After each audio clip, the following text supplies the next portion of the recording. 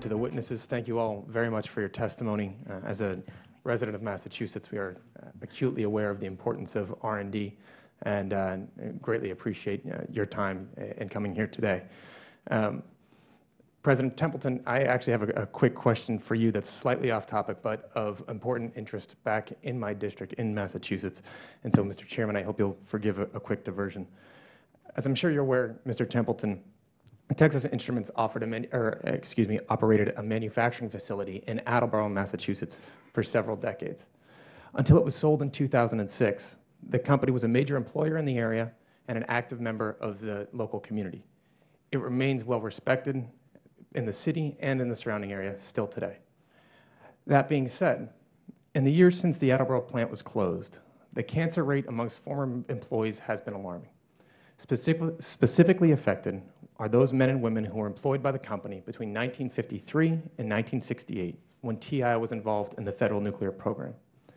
As part of the Energy Employees Occupational Illness Compensation Program through the Department of Labor, money has thankfully been made available to those workers who are now suffering from crippling illness.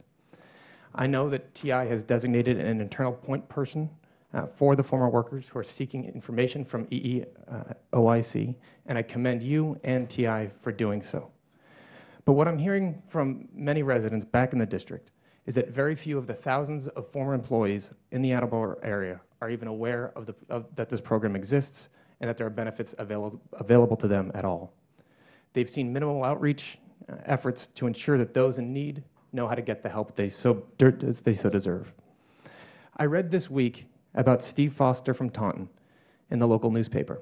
He's suffering from thyroid cancer. His brother also has cancer. His wife and father both died of cancer. All four worked in the Attleboro plant.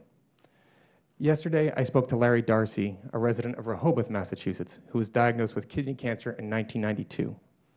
Larry went out of his way to credit your company for the opportunities that it gave him and his coworkers. Over 180 of those coworkers from the Attleboro plant that he is aware of have contracted some type of cancer. I tell those stories, sir, not to cast blame. The human cost of this country's nuclear development in the 1950s and 60s is not unique to Texas Instruments or to Attleboro. But I do believe that TI, along with the Federal Government, has a responsibility to the men and women that we put in harm's way. While we can't take back the exposure to the radioactive or toxic material that so many suffered, what we can do is absolutely everything in our power to make sure that we ease their pain today.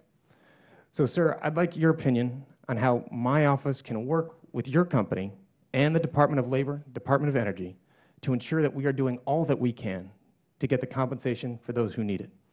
To start, I'm wondering if, one, there's any light that you can shed on the process that TI goes through to reach out to former employees in this situation or similar situations, and two, what my office or the Federal Government can do to assist you in this process. The money is there, the program is there, and the need tragically, is also there.